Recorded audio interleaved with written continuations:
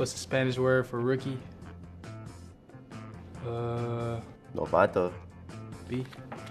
Ah, we on it. How you say that? Novato. What's the Spanish word for touchdown? I don't know. It's, it's hard. I feel like Anotas, anotación. What is B? Anotacion. Oh, that's good? All right, then. Let's go. how do you say wide receiver in Spanish? Oh, I gotta get this one. If it's not this one, then Uh,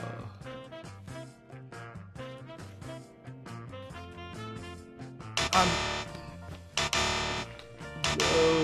got another. You got a, a bonus. It's the Spanish word for head coach. I think I know that one. I want to say A. Duh, I have none. Entreprenador de Jefe. Entrenador de jefe? I know Hefe, boss, right? Yeah.